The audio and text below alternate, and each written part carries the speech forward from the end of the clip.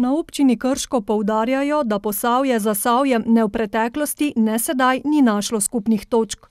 Izkazalo se je, da v preteklih letih, da ta eh, statistična regija dobro funkcionira, da je tukaj samo šest občin, eh, da se lahko uskladimo in da lahko najdemo tudi neke stične točke in pravzaprav neke skupne eh, cilje.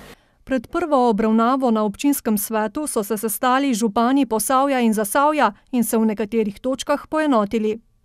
Del pokrajine Zasavje gravitira proti Ljubljani, del proti Celju, da nas ločuje tudi geografija. Se pravi, nimamo nekih prometnih povezav, zaradi tega tudi posebnega gospodarskega sodelovanja ni bilo, čeprav so te dve pokrajine res zelo blizu, vendar smo zelo daleč, če rečem tako, kar se tiče samih prometnih zvez in vsega ostalega.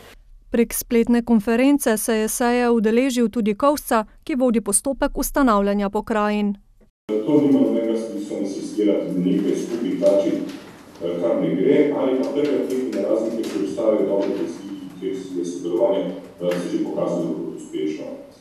Enakega mnenja so v vseh krških svetniških skupinah. Mislim, da so občine v Zasavju preveč oddeljene, tako kulturno kot zgodovinsko in nikoli nismo skupaj bili. Tako da bi, bomo v bodoče vztrajali, kar se tiče kot samostojne pokrajine Posavje. Več let sodelujejo župani in vse poteka brezhibno in ni nobene potrebe, da bi nas kam pripojili. Ne novomeške, še manj pa zasavske. Smatramo, da res nimamo tistega nesrečnega mejnika sto tisoč, dosežemo dobrih šestinsedemdeset tisoč prebivalcev, ampak hkrati ob tem pa smatramo, da smo ekonomsko tako močni, verjetno močnejši od katere druge, ki bo dosegla ta prag, da lahko izpolnjujemo vse naloge, ki jih država od bodoče pokrajine pričakuje. Svojo besedo, da bo volja Posavja uslišana, je svetnicam in svetnikom dal tudi Kovsca.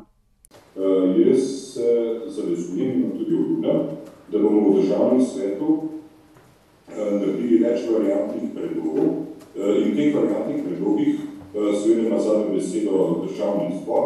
Po mojem mnenju pa nihče ne bo nasprotoval temu, da se pokrajine oblikujejo na takšen način, ki zagotavlja čim manj ob samem nastanku in čim boljše sodelovanje že takoj po nastanku. Podobnega mnenja so v vseh šestih občinah, povezanih v statistično regijo Posavje.